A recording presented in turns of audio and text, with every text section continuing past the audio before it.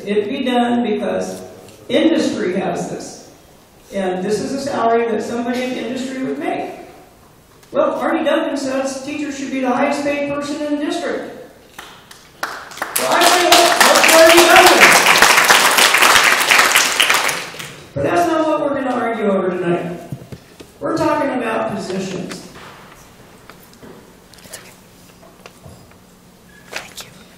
When I looked at the second interim in the back, you know, I read through all your assumptions and that you're not going to take into account the Prop 30 money because we don't have the funding for formula yet and you don't have some of this, this other information. I understand that. But based on your numbers that you have reported, this is kind of shocking. Your multi-year projections. When we look at two- 2011-12, the certificated had 477 employees in our membership. CSEA had 491.0. Administrative, certificated supervisors, and confidential had 87. In 2012-13, certificated employees were down to 462. That was a loss of 15. CSEA had 449.2, roughly a loss of 41 positions, people. Administration, 85. What you're projecting for 13, 14, 439 certificated teachers, counselors, nurses, psychologists, career guidance coordinators. A loss of another 23. It's a far cry different from 62 or 72.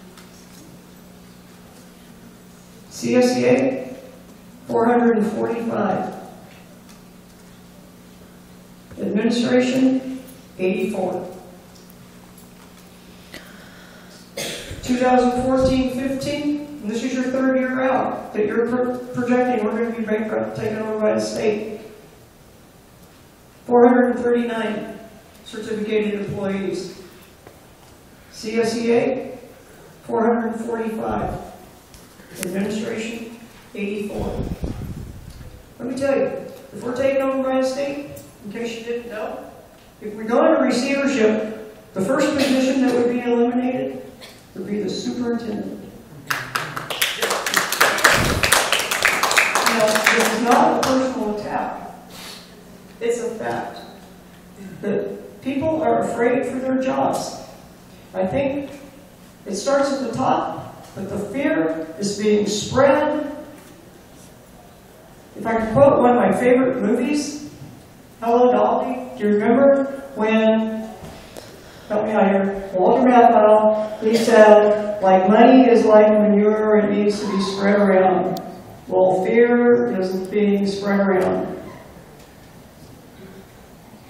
What we need to have answered is the one question revolving around these labs. You've heard others people make reference to this. 400 in declining enrollment, 50 the following year. It's in your report. If you lay off 62 teachers, that's one teacher for seven students. We don't have class sizes that small. If it's really 44 teachers, it's one for every 10 students.